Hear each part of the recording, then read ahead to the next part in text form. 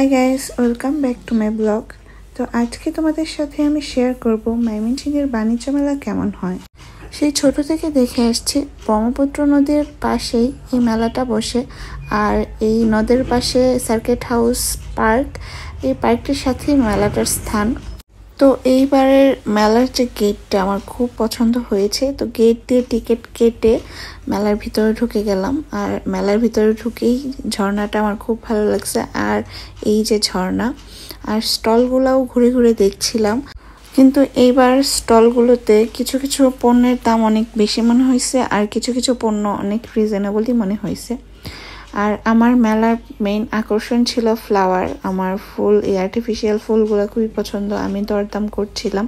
আর এই ফ্লাওয়ার ভাসটা দেখছিলেন, এটা আমার কাছে চব্বিশশো টাকা দাম চেয়েছিল। তো আমি নেব কি নেব না এটা ডিসিশন নিচ্ছিলাম। আর এই ছোটা ফুলগুলা, এগুলোও কয়েকটা নিয়েছিলাম।